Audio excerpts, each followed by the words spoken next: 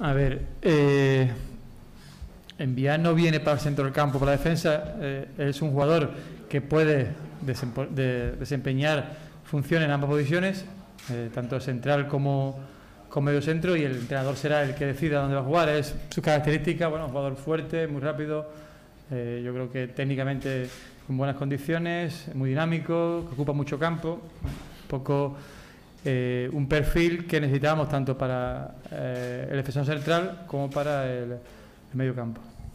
Bueno, yo mm, voy a ser poco original, ¿no? Creo que voy a ser mía las, las palabras que dijo el otro día eh, el míster en la rueda de prensa. Nosotros estamos posiblemente en este momento con alguna carencia, en este momento, es decir, eh, a día 30 de, agosto, algunas carencias fundamentalmente eh, por las lesiones de tres jugadores que pueden jugar en la demarcación de central, de José Antonio Reyes y la todavía no alta definitiva de Piotr Trochowski. Evidentemente en estos momentos, pues cinco bajas a cualquier equipo le provocan una, debilidad.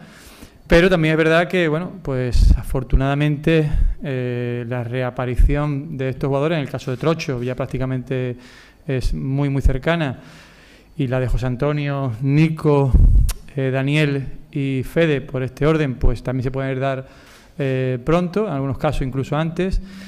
Esa tesitura nos hace tener que valorar, y es lo que estamos, valorar si eh, las ausencias que ahora tenemos, si son suplidas, pueden provocar en el futuro también overbooking. Entonces estamos ahí barajando todas esas posibilidades y vamos a decidir, yo creo que evidentemente pronto.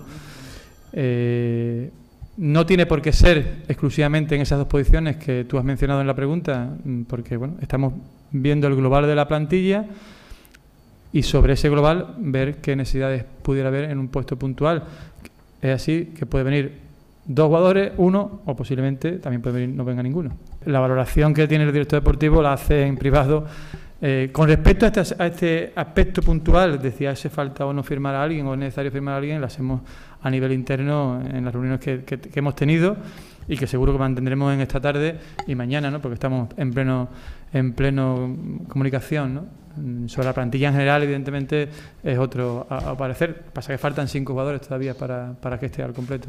Mm, hay un matiz importante que tendríamos, tendríamos que valorar todo, que, en que tenemos un plazo para inscribirnos en Liga, pero no en UEFA.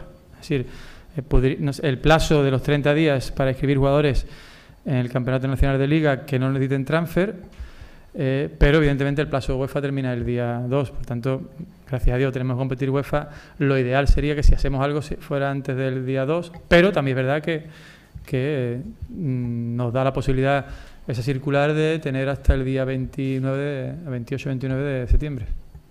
A ver, no, yo haciendo, como me ha tirado el, guante el presidente, a ver, la ilusión de la llegada de un jugador no la podemos valorar porque, porque su forma de llegar sea un traspaso o una sesión, ¿no? porque mm, creo que Marcos Marín a todo el mundo le ha ilusionado mucho y también ha sido una, una sesión. Eh, lo que pasa es que nosotros, como bien dice el presidente, desde viernes anterior ya intuíamos que, eh, que Joffrey iba a pagar su cláusula de edición y lo que hemos hecho es traer al jugador no sustituto, porque evidentemente no tiene las mismas características, pero sí al jugador que iba a ocupar esa, esa, esa ausencia antes de que saliera. No, no ahora ya no podemos buscar sustituto porque ese estaba antes, lo hemos traído antes. Yo creo que hay mucho más parecido que diferencias entre Condovías y Envías, mucha más, mucho más semejanza que diferencia. Evidentemente no hay dos jugadores iguales, pero que tienen características similares, te lo digo también yo que sí.